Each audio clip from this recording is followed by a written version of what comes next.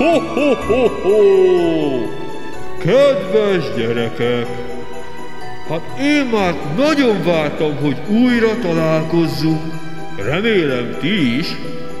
Biztosan tudjátok, hogy cserpes és huncut manókkal idén nem tudunk vendégül látni benneteket a csodákkal teli varázslatos Mikulás házban. De ne csüggedjetek, feneketlen zsákomból mindannyiótokhoz eljut ajándékom. Vigyázzatok magatokra nagyon, legyetek szófogadóak, szorgalmasak. Tudjátok, a Mikulás mágikus távcsöve mindent lát. Jövőre találkozunk. Ho, ho, ho, ho!